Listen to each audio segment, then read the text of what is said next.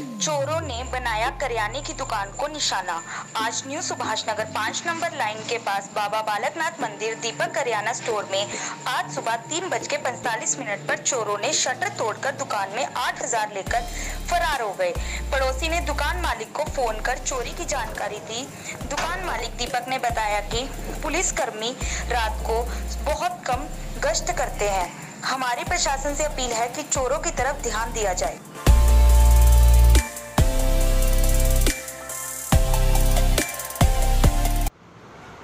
ਹਾਂਜੀ। ਭਾਜੀ ਕੀ ਨਾਮ ਤੁਹਾਡਾ ਜੀ? ਭਾਈ ਦੀਪਕ। ਇਹ ਕੀ ਗੱਲ ਹੋ ਗਈ ਤੁਹਾਡੀ ਦੁਕਾਨ ਤੇ? ਭਾਈ ਇਹ ਸਵਾ ਚਾ- ਪੌਣੇ 4 ਵਜੇ ਅਸੀਂ ਸੀ ਘਰੇ ਤੇ ਦੇਖਿਆ ਸ਼ਟਰ ਦੁਕਾਨ ਟੁੱਟੇ ਹੋਏ ਆ।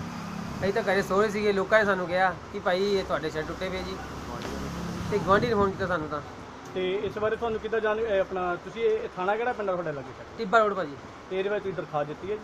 ਦਿੱਤੀ ਭਾਜੀ। ਤੇ ਕਿੰਨਾ ਕੁ ਨੁਕਸਾਨ ਹੋਇਆ ਤੁਹਾਡਾ? ਭਾਈ ਨੁਕਸਾਨ ਹੋ ਗਿਆ 7-8000 ਰੁਪਏ ਦਾ। ਠੀਕ ਹੈ ਜੀ। ਤੇ ਦੁਕਾਨ ਤੁਹਾਡੀ ਕਿਸ ਚੀਜ਼ ਦੀ ਦੁਕਾਨ ਹੈ? ਕਰਿਆਨੇ ਦੀ ਭਾਜੀ। ਤੇ ਕੋਈ ਹੋਰ ਤੁਸੀਂ ਆਪਣੇ ਵੱਲੋਂ ਪ੍ਰਸ਼ਾਸਨ ਨੂੰ ਬੇਨਤੀ ਬੇਨਤੀ ਇਹੀ ਹੈ ਜੀ ਹੁਣ ਸਾਡੇ ਨਾਲ ਹੋਇਆ ਕੱਲ ਕਿਸੇ ਹੋਰ ਨਾਲ ਕਰਨਗੇ।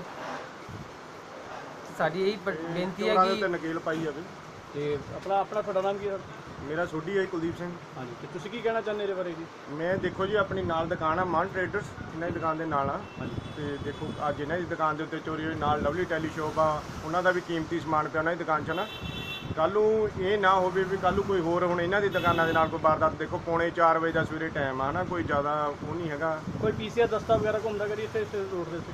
ਨਹੀਂ ਬਹੁਤ ਘੱਟ ਜੀ ਬਹੁਤ ਘੱਟ। ਤੇ ਥਾਣਾ ਕਿਹੜਾ ਪਿੰਡ ਤੇ ਥਾਣਾ ਇੱਧਰ ਟਿੱਬਾ ਰੋਡ ਆ ਭਾਜੀ ਸਾਨੂੰ ਲੱਗਦਾ। ਤੇ ਹੋਰ ਤੁਸੀਂ ਕੁਝ ਜਾਣਕਾਰੀ ਦੇਣਾ ਚਾਹੁੰਦੇ ਅਸੀਂ ਇਹੀ ਜਾਣਕਾਰੀ ਦੇਣੀ ਚਾਹੁੰਦੇ ਆ ਵੀ ਅਸੀਂ ਕੈਮਰੇ ਦੇ ਵਿੱਚ ਉਹ ਬੰਦੇ ਦੇਖੇ ਸੀ ਸਾਹਮਣੇ ਸਾਹਮਣੇ ਦੁਕਾਨ ਆ ਉਹਨਾਂ ਨੇ ਕੈਮਰਾ ਲਾਇਆ। ਤਾਂ ਪਰ ਉਹ ਬੰਦਿਆਂ ਦੇ ਚਿਹਰੇ ਜਿਹੜੇ ਕਲੀਅਰ ਨਹੀਂ ਆਏ ਤੇ ਹੁਣ ਅਸੀਂ ਤਾਂ ਕਹਿੰਦੇ ਆ ਵੀ ਇਹਨਾਂ ਨੂੰ ਪੁਲਿਸ ਨੂੰ ਇਹੀ ਸੂਚਿਤ ਕਰਦੇ ਆ ਵੀ ਦੇਖਣ ਵੀ ਕੌਣ ਆਏ ਬੰਦੇ, ਕੋਈ ਨਸ਼ੇੜੀ ਆ ਜਾਂ ਕੌਣ ਆ, ਇਹਨਾਂ ਨੂੰ ਫੜਿਆ ਜਾਵੇ।